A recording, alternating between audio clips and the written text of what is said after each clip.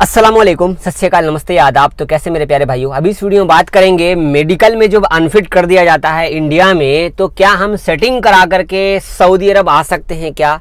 गमका medical में आपका unfit कर दिया जाता है, एजेंट के थ्रू या आपकी गलती के थ्रू या आपके अंदर प्रॉब्लम हो जाए तो अनफिट मेडिकल को फिट करा कर कैसे भी जुगाड़ करके अगर हम सऊदी अरब आ जाते हैं तो क्या हमें इसका फ़ायदा है या नुकसान है? या हमें सऊदी से वापस जाना पड़ेगा। मेरे पास एक कमेंट आया है जो हमारे एक भाई हैं, उन्होंने मेरे को कमेंट लिखा तो मैं कहा, यार, ये कमेंट के बारे में आपको शेयर करूँ। और हो सकता है ऐसा आपके साथ भी हुआ हो या होने वाला हो सकता है, या अभी आप जो नए भाई हैं, ये काम करा रहे तो आपके साथ भी ऐसा हो सकता है। तो मैं आपसे गुजारिश करूँगा इस वीडियो को देखने से पहले वीडियो को शेयर कर दीजिए। अगर शेयर कर देंगे तो नए नए लोगों तक पहुँच जाएगा, क्योंकि ये जानकारी आपको कोई भी नहीं बताने वाला, क्योंकि किसी का इतना टाइम नहीं है बताने का।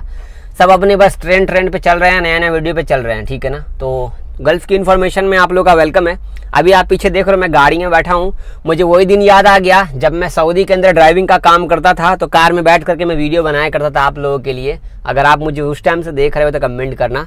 अगर आपके साथ ही मेडिकल में कुछ धोखाधड़ी हुआ है तो मेरे को भी फिर कमेंट करना। मैं ज़्यादा टाइम नहीं लूँगा आपका। लाइक भी कर दो यार सब्सक्राइब भी कर दो। मेरे पास एक कमेंट है, मैं आपको यहाँ पर शेयर करता हूँ फ़ोटो ये देखिए। मंजूर अहमद भाई कहते हैं, अस्सलाम वालेकुम जावेद भाई, मैं इंडिया से 13 मार्च को सऊदी आया, रियाद में। ठीक है, दिल्ली में मेरा मेडिकल अनफिट कर दिया गया।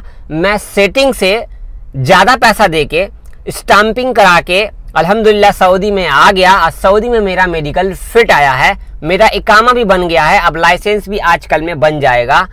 इनके मेडिकल में क्या प्रॉब्लम हुआ, वो मैं आपको बताता हूँ। सबसे बड़ा प्रॉब्लम ये ड्राइविंग के काम में आ रहे थे तो आँखों का टेस्ट होता है मेडिकल में। गम का मेडिकल होने में, में जो है ना आपको आँखों का टेस्ट होता है। तो आँखों का टेस्ट में उनको समझ में नहीं आया तो वहाँ पे फेल हो गया। चेस्ट का एक्सरे हुआ तो एक्सरे बॉडी के अंदर में फॉल्ट निकल गया। वहाँ पर इनका मेडिकल फेल हो गया। तो इनको पता लग गया कि दो बार जो है मेडिकल का सिस्टम जो मेरा है जो इन्होंने चेक किया है वो सच में फेल हो चुका है। तो आप कैसे पास करेंगे? तो ये डायरेक्ट गए थे। ठीक है? ये डायरेक्ट गए थे बिना एजेंट के गए थे। मेडिकल कराने के लिए। अब यहाँ पे क्या है कि जिस ऑफ़िस के थ्रू इन्होंने काम कराया, जिस एजेंट के थ्रू इन्होंने काम कराया, उस एजेंट को इन्होंने कहा कि यार मैं सऊदी का रिटर्नर ड्राइवर हूँ, पहले भी मैं आठ साल रह चुका हूँ, इनके कमेंट में ही है तो अभी मेरे को किसी भी हाल में जाना है जाना है, ठीक है? क्योंकि सऊदी में तो कोई हार्ड टेस्ट तो होता नहीं है। अब यहाँ पे आपका कफील चाहे तो कुछ भी कर सकता है, अगर आपका मेडिकल में अनफिट होता है तो एक चीज़ ये बता देता हूँ। लेकिन इंडिया में हमारा मेडिकल जानबूझ के भी अनफिट किया जाता है। इनको तो पता चल गया कि दो जगह मेरा प्रॉब्लम निकला है तो मेरा मेडिकल अनफिट होगा। लेकिन कई बार आपका जो है प्रॉब्लम नहीं होता है, जानबूझ के प्रॉब्लम निकाला जाता है, या आपका मेडिकल फिट होता है, आपको पता नहीं होता है कि मेरा मेडिकल फिट निकला है, क्योंकि वो मैसेज वो मोबाइल नंबर एजेंट का होता है। फिर एजेंट आपको फ़ोन करेगा कि हाँ मेडिकल में ये प्रॉब्लम है इतना पैसा देना पड़ेगा सेटिंग करा करके मैं पास करा दूँगा। तो ऐसा भी होता है। इस इस इस भाई का जो प्रॉब्लम हुआ, वो दो प्रॉब्लम तो निकला, लेकिन अब वो सेटिंग के थ्रू तो ऑफ़िस वाले ने सेटिंग के थ्रू इनका मेडिकल में पास करा दिया। अब सेटिंग के थ्रू अगर इनका मेडिकल पास हो गया तो ऑफ़िस वाले ने कहा कि देखो, मैंने सेटिंग से करा दिया है। अब सऊदी में जाने के बाद क्या होता, नहीं होता, तुम अपना समझना।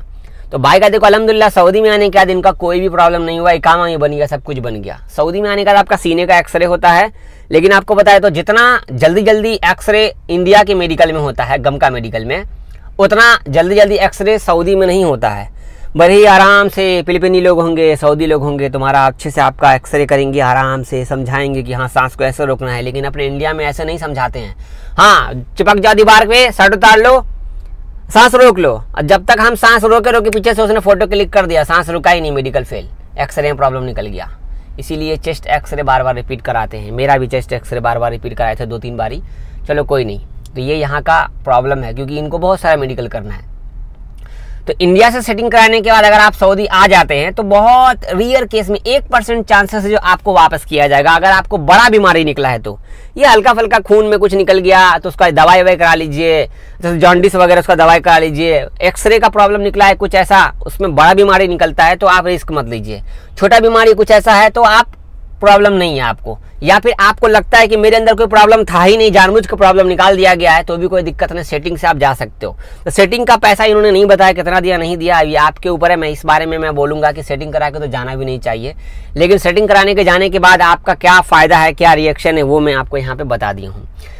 जो एजेंट लोग होते हैं, वो अक्सर आपके साथ इसीलिए जाते हैं ताकि वो अपना फ़ायदा कमा सके। वो आपको ही काउंटर पे भेजेंगे, आपको ही पैसा देने के लिए बोलेंगे, सब कुछ आपको बोलेंगे, वो एक कोने में बैठे रहेंगे। जब आप मेडिकल करा ले, आ जाते हो, करा करके जब आ जाते हो तो मेडिकल का पर्ची, जो पर्ची दिया जाता है, आपको छोटा सा पर्ची होता है, वो पर्ची किसी भी हाल में आपको नहीं देना है।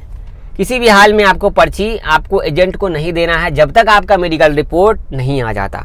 तो ये थी सारी बात आई होप कि आपको समझ में आया हो। इस वीडियो को शेयर कीजिए और भी, और मेडिकल का सेटिंग वगैरह का करा करके अगर आप अच्छे से आ जाते हो तो टेंशन नहीं होता है, ठीक है ना? बहुत शुक्रिया दो में याद रख, अपना ख्याल रखिएगा। वीडियो को लाइक कीजिए कमेंट कीजिए, आपके साथ कुछ ऐसा होता है कमेंट कीजिएगा। अल्लाह हाफिज़।